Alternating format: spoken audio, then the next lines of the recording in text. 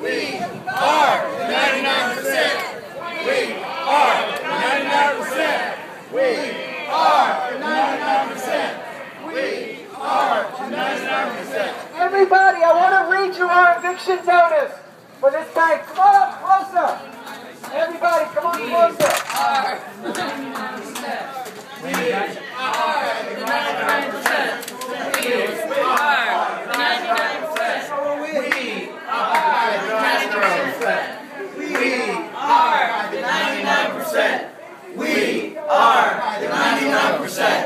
You stole from us.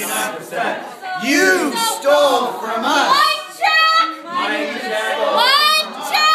Mic check, whose bank are we? He's making everything. We are here in Citigroup today to deliver an important notice of default. We are here. We're, we are wanting to inform Citigroup that you were in default under a deed of trust held by the American people.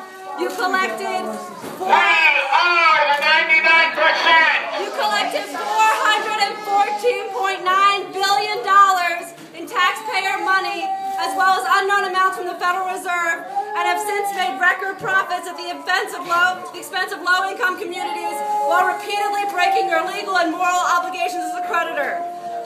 violations include pressuring tenants and homeowners, evicting tenants, and targeting low-income neighborhoods.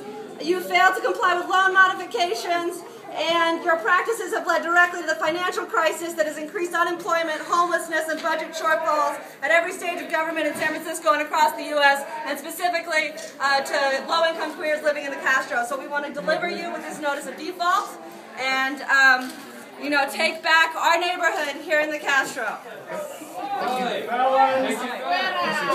This used to be my bank. Not anymore. You stole